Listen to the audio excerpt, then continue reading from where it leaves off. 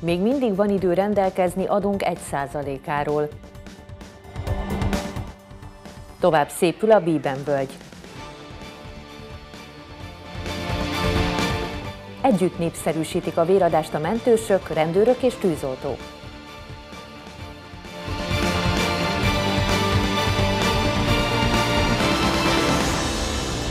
Ózdi Krónika.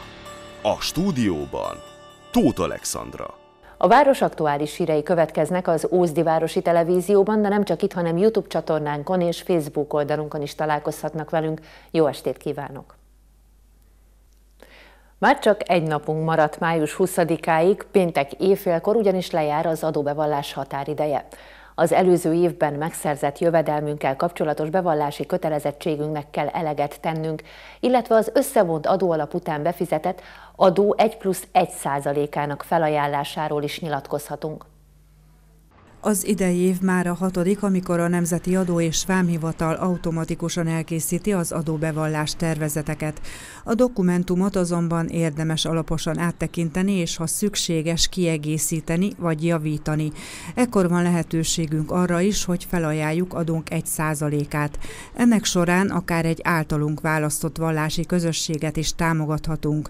Tóth Melinda Anna, evangélikus lelkész elmondta, hogy inkább a világiak ajánlják fel az egyháznak adójuk egy részét, mivel a hívek elég kevesen vannak. Minden ilyen segítségnek nagyon örülnek, hiszen sok kicsi sokra megy. Ez egy nagy büdzsébe megy be, és abból kapunk aztán egy leosztást, mert nyilván számon tartja az egyházunk is, meg statisztikát állít föl, hogy körülbelül melyik megye milyen százalékba tudta az egy százalékot föl ajánlani az ország, Magyarország Evangélikus Egyháznak, és akkor hát azt mondja Jézus, hogy kérjetek és kaptok, akkor van olyan lehetőségünk, hogy kérünk és kapunk támogatást az országos egyháztól arra, hogy bármit is felújítsunk. Az Ózdi Kerékpáros Egyesület működését legnagyobb részt Ózdváros önkormányzatának támogatása fedezi, de sokat jelent számukra a felajánlás. Az adó egy százalék az nagyon fontos nekünk, hiszen kis egyesület révén sok kicsi sokra megy alapon, ez nekünk nagyon sokat jelent. Ugye egy évben megközelítőleg mintegy 130-150 ezer forint összeget tudunk ebből összegyűjteni, amit az Egyesület működésére tudunk fordítani, a tagoknak a versenyeztetésére, különböző túráknak a, a szervezésére. Sajnos még mindig nagyon sokan vannak, akik nem élnek a támogatásnak ezzel a formájával, holott ez az adózóknak semmibe nem kerül. A civil szervezeteknek vagy az egyházaknak azonban nagy segítséget jelenthet. A Nemzeti Adó és Vámhivatal honlapján elérhető az a lista, amelyben összegzik azokat, akik jogosultak a felajánlásra. Több olyan fejlesztés is tervben van városunkban, amelyek a szabadidő eltöltésére alkalmas területeket érintik, így például a Bíben völgyben lévő szalonnasütők környékére további ülőpadok, illetve személygyűjtő konténerek kerülnek. Ám egy kezdeményezés is indult annak érdekében, hogy a város ezen része védettség alá kerüljön. A rongálások megelőzéséért is vannak lépések. Sokózdi számára kedvelt terület a Bíben völgy, ahol az emberek szívesen töltik szabadidejüket. Ennek bejáratánál jelenleg több szalonna sütőhely található, de filagóriák és ülőpadok is szolgálják az ide kilátogatók kényelmét. Utóbbi eszközök száma hamarosan gyarapszik, emellett személygyűjtő konténereket is elhelyeznek. A legtöbben igyekeznek megóvni a szabadidőpark szépségét, ám szemetelések, rongálások sajnos így is előfordulnak. A terület képviselője nagy hangsúlyt fektet arra, hogy ezeket meg lehessen előzni nem titkolt célunk, polgármester úrral már, illetve a városfejlesztéssel egyeztettem, hogy egy áramvételi oszlopot, egy émász oszlopot helyezzenek el itt a közelebbi területen, ahova egyrészt az a kamera, amely jelenleg is figyeli a területet, viszont sajnálatos módon pont az áramvételi lehetőségek okán egy távolabbi helyszínen van egy vendéglátó egységnek a tetején, ez közelebb fog kerülni, abba bízunk a bűnöldöző szervekkel együtt, hogy így majd a, egyrészt a prevenció, tehát a károkozásnak a lehetősége is fog majd csökkenni, egyfajta visszatartó erővel fog élni, illetve az elkövetőnek a bűn eset felderítésében is majd egy sokkal hasznosabb és sokkal hatékonyabb lehetőséget fog biztosítani. Ez a fejlesztés azonban más szempontból is fontos. A Bíben völgy ugyanis helyszínéül szolgál több szabadtéri rendezvénynek, amelyek lebonyolításához az áramvételi lehetőség elengedhetetlen. Ilyen volt többek között a tavaly itt megtartott bolyoki vigadalom, de számos egyéb esemény is zajlik itt. Nem messze innen a Lehel vezérútról megközelíthető garázsornál is történtek rongálások, amelynek során egy közlekedési tükröt törtek be a vandálok. A lakossági kérésre tavaly évben kihelyeztük ezt a tükröt, hát nem sokkal utána, ugye látjuk, be is törték. Az elkövetők eh, megvannak, rendőrségi eljáráson most ellenük, eh, és elintéztük, ugye, hogy beszerezzük az új tükröt, ez most, ha minden igaz, a mai nap felszerelésre is fog kerülni. A szemetelés és a rongálás a legtöbbek számára elkeserítő, ám szerencsére sokan vannak olyanok, akik vigyáznak természeti és épített környezetünkre. Ez bizonyítja az is, hogy a Bében völgy megóvása érdekében korábban egy kezdeményezés indult, amely Lakatos Mihály lokálpatriótához köthető. A cél az, hogy a terület ezen belül az itt élő növény és állatvilág védelem alá kerüljön, amelyet a völgy bejáratánál már egy tábla is jelez. Az önkormányzat ennek érdekében pedig már meg is tette az első lépéseket. A véradás népszerűsítő plakátkampányhoz csatlakoztak a helyi rendőrség, tűzoltóság és mentőállomás dolgozói. A megmozdulás ötlete a Magyar Vöröskereszt Északborsot területi szervezetének Ózdi munkatársaihoz köthető. A plakátokhoz ma készültek el a képek, amelyeket kolléganőnk kattintott el igen magasból. Jövő héten két nap, szerdán és csütörtökön is számítanak majd a vérükkel segíteni szándékozó ózdiakra. Nagy volt a készülődés ma délelőtt az Ózdi mentőállomás udvarán. A mentősök, tűzoltók, rendőrök egy olyan megmozduláshoz csatlakoztak, amelynek elsődleges célja a véradás népszerűsítése. A Magyar Vöröskereszt helyi szervezetének munkatársai már régóta terveztek egy olyan alkalmat megvalósítani, amelyre hétköznapi hősök hívják fel a figyelmet. Ezért gondolták úgy, hogy a helyi erők bevonásával készítenek egy véradásra invitáló plakátot. A plakát készítésnek az volt a koncepciója, hogy mind a három szervezetből, illetve négy szervezetből rajta legyünk a fotón egy szívet alkotva, e, ezzel felhívva a figyelmet arra, hogy bárki lehet hős, és hogy igazából ezek a valódi hőseink, akik minden nap az életünket mentik és segítenek, igazi példák is és hogy mindenki jöjjön el vért adni, aki teheti, hiszen egy fél óra az életünkből, és, és másoknak az életét mentjük meg. Ők pedig nap mint nap ezt látják, hogy milyen nagy szükség van a vérre, és ezzel is a segítségre. Amikor minden résztvevő kiválasztotta a saját fonalból készült szívét a dobozból, az volt a feladat, hogy a magasba tartsák. Persze ez még nem volt elég. Pontosan szívalakzatot formázva kellett megállniuk az udvaron.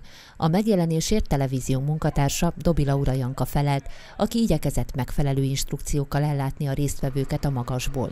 Ugyanis egy emelő kosaras gépjármű segítségével készültek a képek.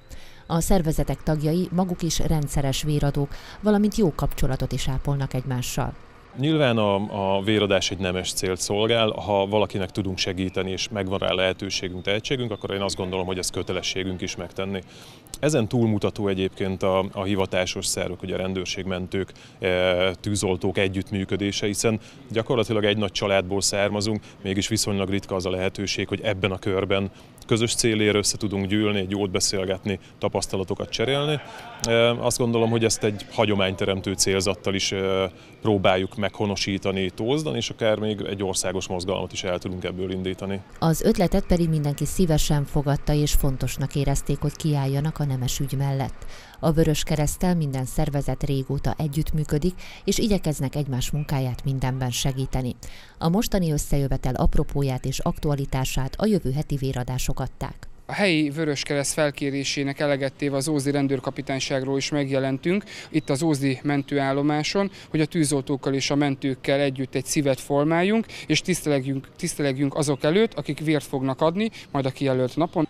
Tehát jövő héten az Országos Vérellátó Szolgálat és a Magyar Vöröskereszt helyi szervezetének rendezésében dupláznak.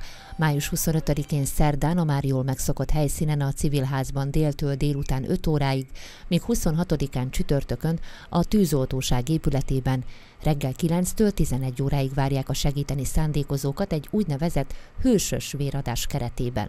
Utóbbi helyszínen egy kis szerencsével a lánglovagok gépjárműállományát is meg lehet majd tekinteni. Megyei döntőbe jutottak azok az ózdi diákok, akik részt vettek a második Mátra kincsei természetismereti és természetvédelmi versenyen. A Bükki Nemzeti Park által meghirdetett eseményre a Vasvárúti Általános Iskola három diákja, Elek Bálint, Horváth Ádám és Kúnya Káleb 5. osztályos tanulók jelentkeztek.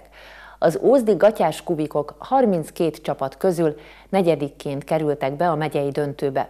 A verseny három fordulóját hat témakör kísérte végig.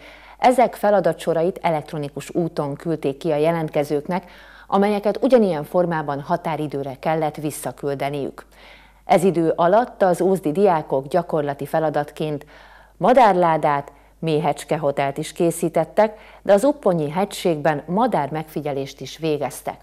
A mostani döntőt a Mátra Füredi Harkályházban rendezik majd meg május 31-én, amelynek során a csapatok írásban és terepfeladatok megoldásával adhatnak számot tudásukról. Zajlanak a tavaszi munkák a Bojki gyógynövénykertészetben. A téli időjárás okozta gondokat javítják ki a szakemberek, valamint füvet nyírnak, gyomlálnak és készülnek a látogatókra.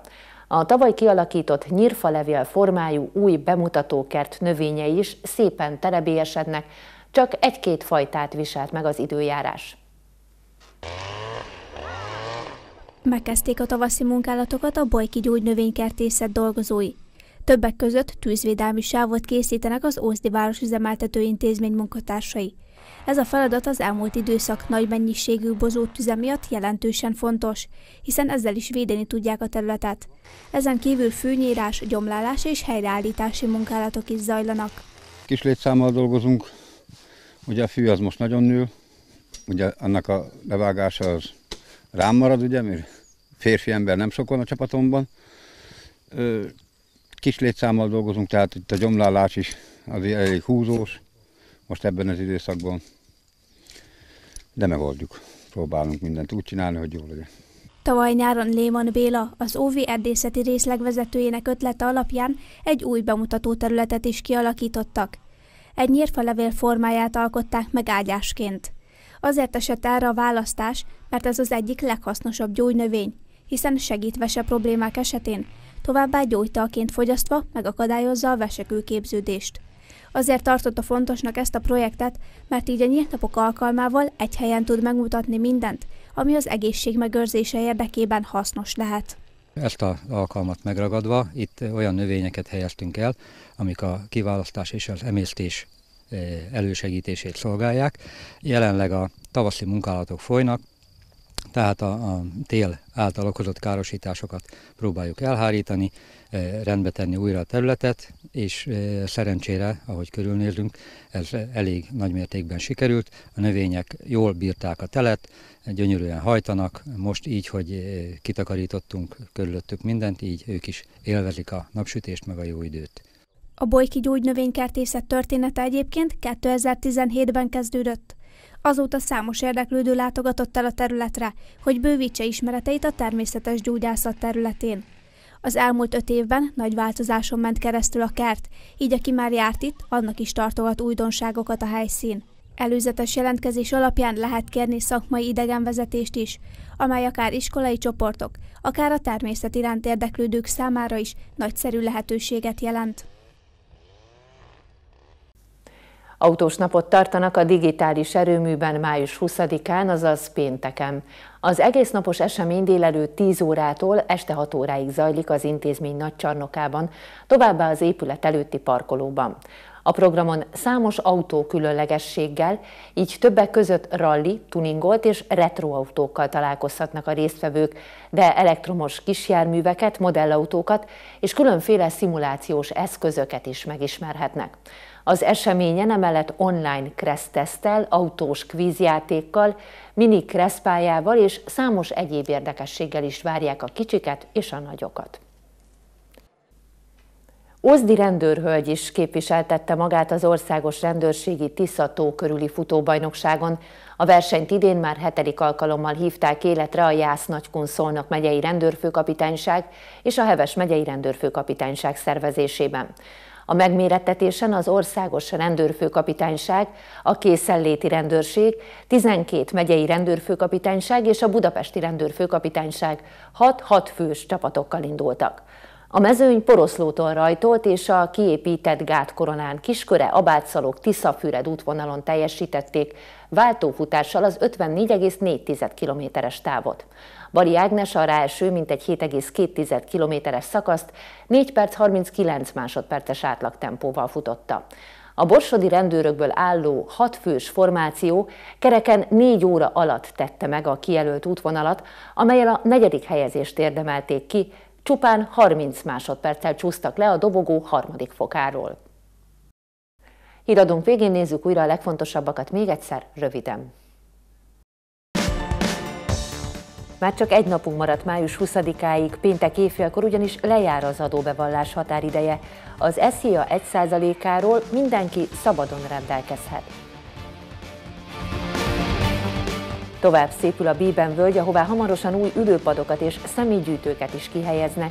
A területet szeretnék védetté nyilvánítani, és az esetleges rongálásoktól is megóvni. A véradást népszerűsítő kampányhoz csatlakoztak a helyi rendőrség, tűzoltóság és mentőállomás dolgozói. Jövő héten két nap is számítanak majd a vérükkel segíteni szándékozó ózdiakra. Zajlanak a tavaszi munkák a Bojki gyógynövénykertészetben. A téli időjárás okozta gondokat javítják ki a szakemberek, és már nagyon készülnek a látogatókra.